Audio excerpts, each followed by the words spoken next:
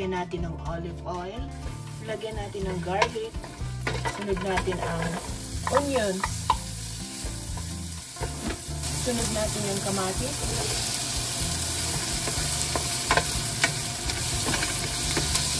Lagyan na natin ang ground beef.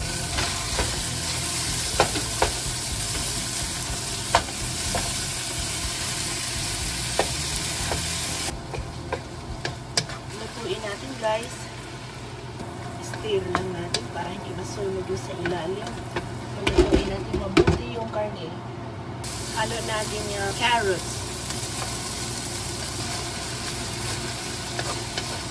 Lagyan ko ng carrots kasi gusto ko may mga gulay.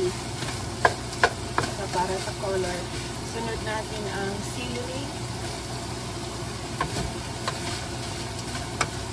Lagyan ko ng seasoning.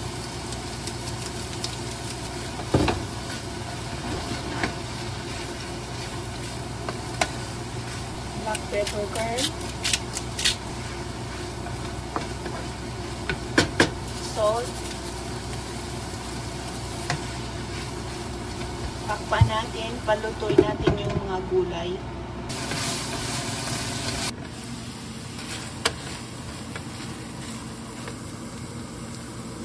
Luto na guys. I-off na natin guys. Palamigin lang natin to ng konti. Palamig na siya guys.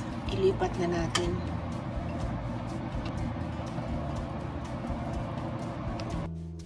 Halagay natin guys sa loob. Okay.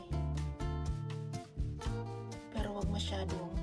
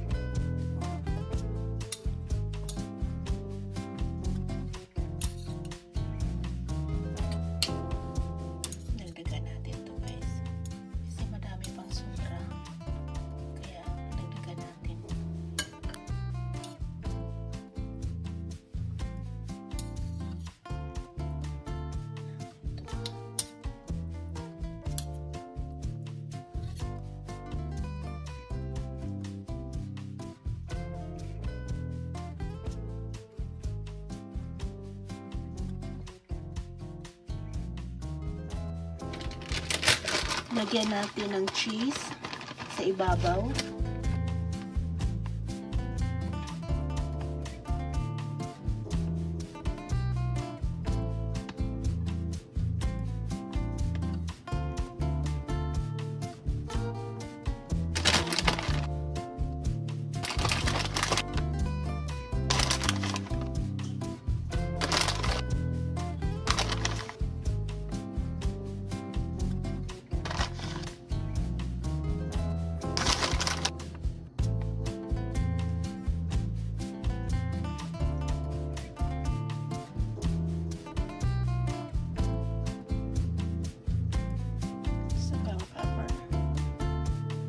I-bake natin.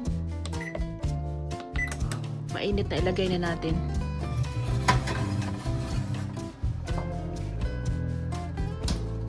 Mga 15 minutes guys.